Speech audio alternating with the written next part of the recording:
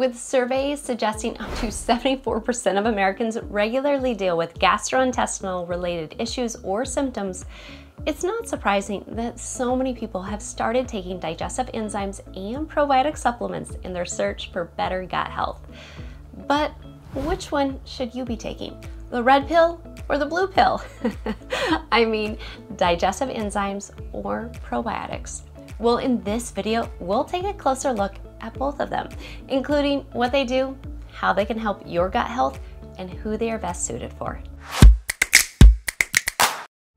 Hi, I'm registered dietitian Rochelle Godman, and just before we get started, did you know that us humans have been fascinated by bacteria since as far back as the 1600s?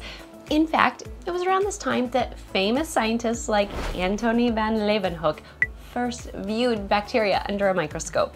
But despite their pioneering discoveries, Antony and other leaders of microbiology viewed bacteria as mainly disruptive and disease causing. And so if you had asked them which is better, probiotics being bacteria or digestive enzymes, they would have been team enzymes all the way. Fast forward to the 21st century though, and we've learned a lot. In fact, in the past two decades or so, we have truly begun to understand how much we need bacteria, especially in our guts, and just how poorly we can feel when we don't have adequate amounts and diversity of them. But of course, that's just one aspect of gut health. We also have to worry about how well we digest and absorb the food we eat. so with that history lesson out of the way, let's first look at what are probiotics. Well, you probably already know that they are healthy bacteria that can benefit us humans in some way. But did you know the name probiotic actually means for life, which is such a befitting name for these little bacteria buddies of ours. Now, here's a really cool thing. Inside your gut right now, there is a five foot long tube known as the large intestine or colon. And guess what? It can house upwards of 100 trillion bacteria or microbes to use the technical term. And they come from thousands of different species ranging from beneficial to neutral to potentially harmful. Together, they make up what is called your microbiome. And you can think of it like an entire rainforest inside your gut. So now you know that. I bet you're wondering, what does a healthy microbiome look like? In other words, how can we make sure the 100 trillion bacteria buddies living inside of us help our gut instead of hindering it? Well, just as a healthy rainforest requires diverse plant and animal life to flourish and thrive, your microbiome also needs a wide variety of bacteria, yeast, and fungal species to remain in balance. And to give you an idea of just how important this is, I wanted to share a quote from this 2020 paper we recently read in the Digestive Diseases Journal. So the researchers wrote, and I quote, this diversity allows humans to obtain a variety of benefits, such as digesting various foods, especially fiber, producing vitamins and other protective metabolites, activating homeostatic gut and systemic immune responses, and preventing colonization by pathogens, unquote. And if you don't speak fluent geek like our research team at Essential Stacks, to summarize what they are saying is a diverse microbiome can help your digestion, nutrient absorption, immune system, and even protect you from dangerous bacteria and yeast. Not only that, but a well-balanced microbiome has also been linked to better mood, skin, cognition, and metabolism. But what happens if your microbiome is unhealthy?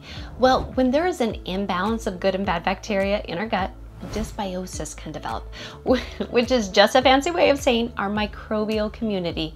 The rainforest within us is out of whack. And this is a problem because it can then cause many digestive problems like bloating, constipation, and of course, diarrhea. So repopulating your gut microbiome with beneficial bacteria in other words, probiotics, can help to bring things back into balance. And in terms of how we can consume more probiotics, well, there are three great options you can try. The first would be to rebuild the bacterial rainforest in your gut by consuming probiotic-rich fermented foods, like sauerkraut and kimchi. And if you want to learn about them, check out the videos we recorded for our fermented food series. Links in the description below. Of course, not everyone loves the taste of these, so the next best option you can try are fermented drinks like kefir and kombucha. Most people find these much easier to consume and often end up loving the taste. And if you want to learn about how to make these fermented foods, check out the videos in the description below. And finally, if you find probiotic foods and drinks a bit of a challenge to consume regularly enough to support your microbiome, then you can always try a probiotic supplement. Here at Essential Stacks, we make this. And since I don't want to turn this into an infomercial for our probiotics, I'll just say this. Picking a good probiotic supplement is tough. Most don't deliver enough bacteria or from a diverse enough range of strains. So if you want to learn what to look for in a probiotic supplement, check out our buyer's guide to probiotics video. And the link for this is also in the description below. Now you know what probiotics are, why they're important, and just how silly our old Dutch scientist friend Antonie was when he thought bacteria were bad. Silly Dutch man. Let's take a look at what digestive enzymes are and why they're important. So I guess the first big thing to say is that although probiotics are undoubtedly beneficial, sometimes the problem with our gut health isn't due to an imbalanced microbiome. Instead, sometimes the issue arises earlier in the digestive tract, like in the stomach or small intestine. In other words, we have a problem digesting our food properly, and in these cases, digestive enzymes are a lot more important. So to set the scene for you, it's important to know that our bodies naturally and constantly produce enzymes that help break down the food we eat into smaller building blocks that our cells can use for energy. For obvious reasons, a huge steak can't just lie down the digestive tract in its entirety. Instead, we've got to break it down first in multiple ways. And one of the key ways for doing this is with enzymes.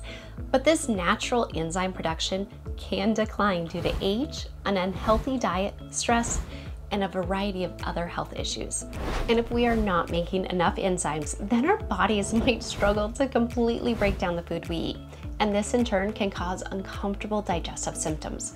Hello, bloating, gas, and reflux. And in these cases, you might take a digestive enzyme supplement like this for example. In other words, you would send down more of the good guys to help with food breakdown. And that way, you can ensure you don't end up like Bryan Cranston storming out of the Tonys. So in terms of which is better, well, hopefully you can now see that one is not necessarily better than the other. Instead, it comes down to what your digestive issues are and whether foods are the key cause of them. And so to wrap up this video, let's take a quick look at when to choose which supplement. So quite simply, probiotics can help with a broader range of health concerns than digestive enzymes. And that's because your gut microbiome can affect so many other parts of the body, as we saw earlier in the video. Supplemental probiotics have been found to help with many issues, including irritable bowel syndrome and constipation, as well as other common GI issues like leaky gut, SIBO, and diarrhea. Probiotics are even thought to potentially benefit non-digestive issues like depression, acne, and allergies. So now in terms of when you should choose digestive enzymes, well, these are a better choice when most of your issues come from eating. You see, although probiotics can help digest fiber-rich foods, that's about it. By contrast, a digestive enzyme supplement with a wide variety of different enzymes can help you digest everything from protein to fats and of course carbs and fiber. With that said, something like our Pure Enzyme Supplement, which is a multi-enzyme formula, is not for everyone. You see, if you only find some specific foods cause you a problem, for example dairy, then you don't need an enzyme supplement with so many different enzymes.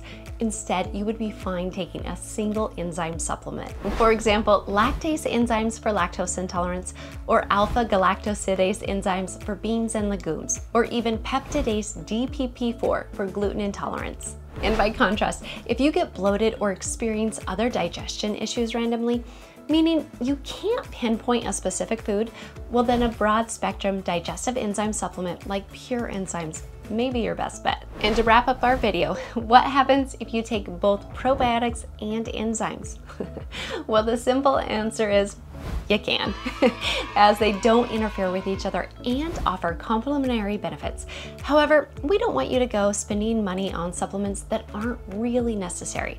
So it can be worth trialing out each supplement separately to see if one works better for you than the other. For example, you could take a probiotic for four weeks and keep an eye on your symptoms. If they improve, you know probiotics by themselves are probably good enough. If not, go ahead and try adding digestive enzymes into your routine. Overall, the moral of the story is that both probiotics and digestive enzyme supplements can benefit different parts of your digestive system. So to recap, while enzymes help you break down food completely to help with bloating, gas, and indigestion, probiotics help repopulate your gut microbiome to benefit both digestive and overall health. Now we want to hear from you. What have you found works best for you? Let everyone know by leaving a comment below. If you enjoyed this video as part of our digestion series, then hit the like and subscribe button to make sure you never miss another video. Our team of dietitians and doctors here at Essential Stacks are so excited to continue researching which foods and supplements help your gut health. That way you can save hundreds of hours of trial and error and focus on what's best for your digestive health. Thanks for watching and see you in the comments. Bye for now.